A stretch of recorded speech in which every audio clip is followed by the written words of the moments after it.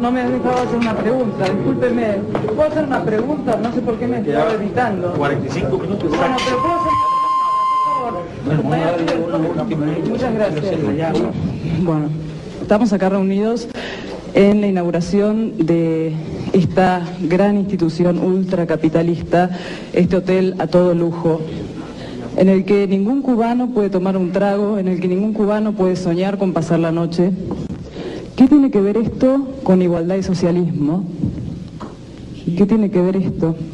Bueno, si nosotros, eh, eh, estos hoteles mixtos, fueran para cobrar en pesos, no habría el hotel este construido aquí. Porque ni los capitalistas venían, vendrían a invertir aquí para comprar en pesos. Realmente no, no, no les interesaría acumular pesos. ¿Tú entiendes? Así que en este hotel es una cosa que tiene que hacer la revolución, tiene que hacer la revolución precisamente para vencer el bloqueo americano, para sobrevivir, para vencer los obstáculos que nos ha traído, traído la tragedia del derrumbe del campo socialista. Tiene que hacer esto y lo hace, y tenemos el valor de hacerlo, y se lo explicamos al pueblo.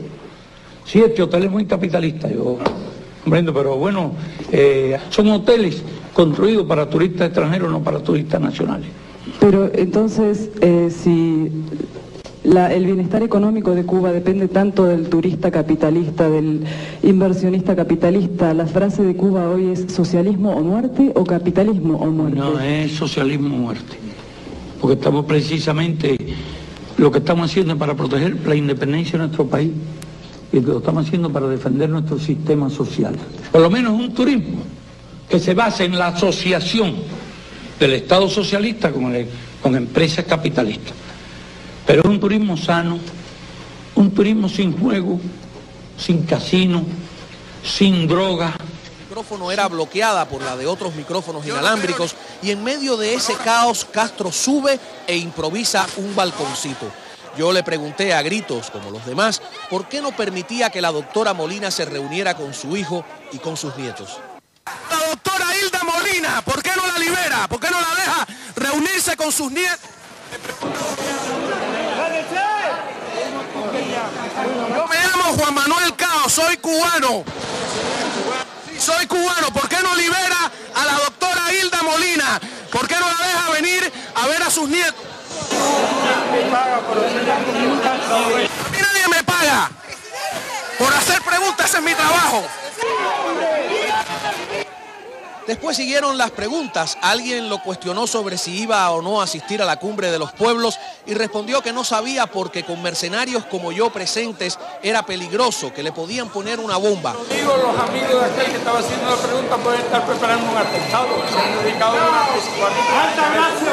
Eso me lo contaron otros colegas porque a mí sencillamente me sacaron. Me fueron arriba los escoltas, uno de ellos ordenaba, pégale, pégale. Logré esquivarlos, pero no tenemos imágenes porque todas las cámaras apuntaban a Fidel, no a mí, por supuesto. ¿Está, preparando su transición, comandante, para dejar el poder?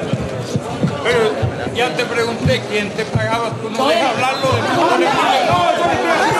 Periodistas nada más con, con Bush y le preguntan por Posada Carriles los crímenes que se han cometido.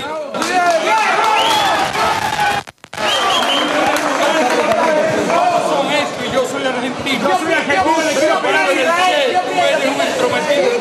viviendo como mercenario lo que tú eres. ¡Comandante! ¡Comandante! ¡Comandante! queremos preguntarle! ¡Comandante!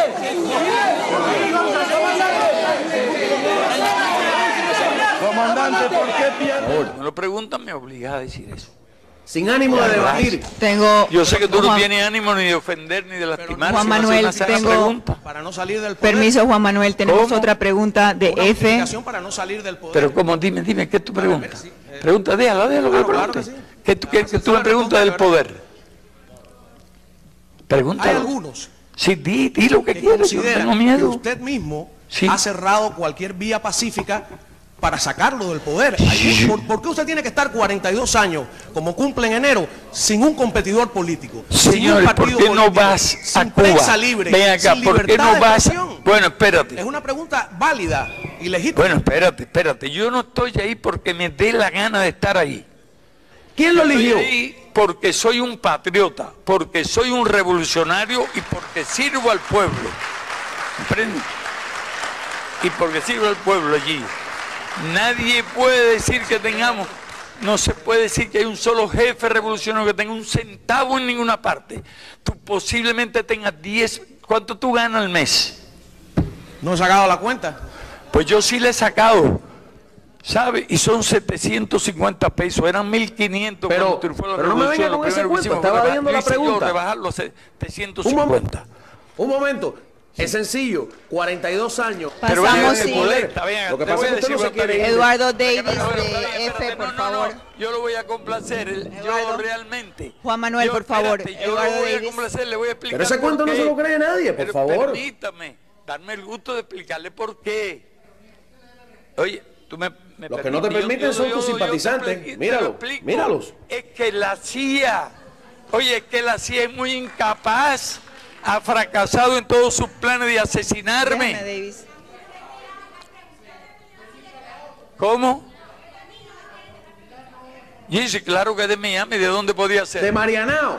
De Marianao, no de Miami. No, Soy de verdad que naciste- tú Y además, naciste en Eduardo. Davis, Muy por favor. que me crié en su sistema. F, Bueno, ya, Manuel. ya, te he complacido gustosamente. Ahora dile que te hay un premiecito, algo del dinero que, no de- que le iban a dar a Posada Carriles, que te lo den a ti, ya Posada Carriles no necesita dinero.